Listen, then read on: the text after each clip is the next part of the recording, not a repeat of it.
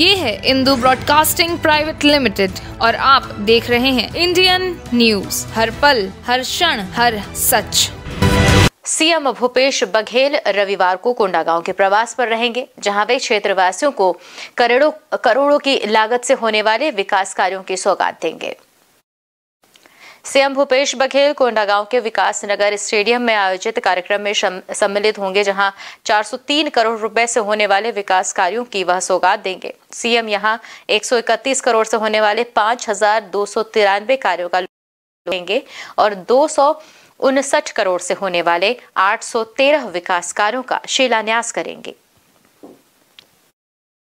तो निश्चित रूप से भूपेश बघेल जी का चेहरा एक विश्वास का चेहरा और विश्वास का प्रतीक साबित हुआ है। और इसी दौरान जब माननीय भूपेश बघेल जी बस्तर प्रवास के दौरान कोंडागांव ज़िले में भी जिनका आगमन हो रहा है तो कार्यकर्ताओं में और आम जनता में नॉर्मल पब्लिक में भी बहुत उत्साह और हर्ष का माहौल देखने के लिए मिल रहा है। और इसी दौरान वो 400 करोड़ से अधिक विकास कार्यों की सौगात देने वाले हैं, जिसमें मुख्य रूप से आदिवासी विश्राम गृह आधुनिक बस स्टैंड और सेंट्रल लाइब्रेरी सेंट्रल लाइब्रेरी जो कि छह करोड़ का, बस स्टैंड का निर्माण साढ़े छह करोड़ और दो करोड़ की आदिवासी विश्राम गृह। इस तरीके के सौगातों का वो लोकार्पण, भूमि पूजन, अन्य चीज़ों का भी लोकार्पण और भूमि पूजन वो करने वाले हैं, जिससे जनता में खुशी की लहर है और निश्चित रूप से लोगों को फ़ायदा, अधिक से अधिक फ़ायदा पहुँच न्यू वीडियोस की अपडेट पाने के लिए सब्सक्राइब करें इंडियन न्यूज़ को।